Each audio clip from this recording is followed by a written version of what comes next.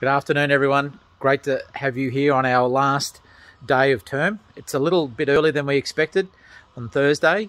Uh, unfortunately, the school will have to close um, as of this afternoon for a week due to the latest uh, outbreak here of uh, COVID in Albury.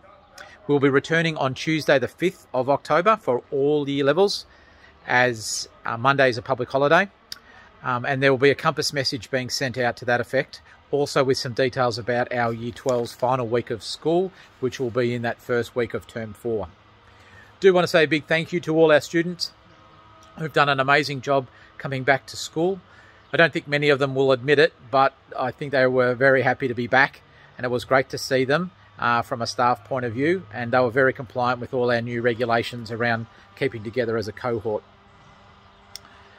Just a reminder uh, that parent teacher has been postponed uh, for till Thursday of the first week of the holidays, and there'll be some more information around that as well.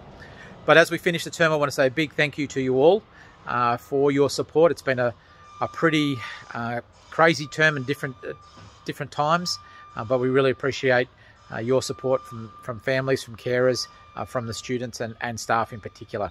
Just going to finish off with our, uh, our latest building update. I'm going to sound and show you um, the other side of our stadium. This is the back corner from the staff car park looking across and uh, it's coming along nicely and we look forward to being hopefully in there by the last couple of weeks of our next term, COVID pending.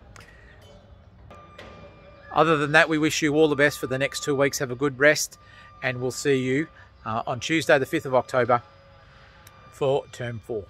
Thanks, everyone. Bye.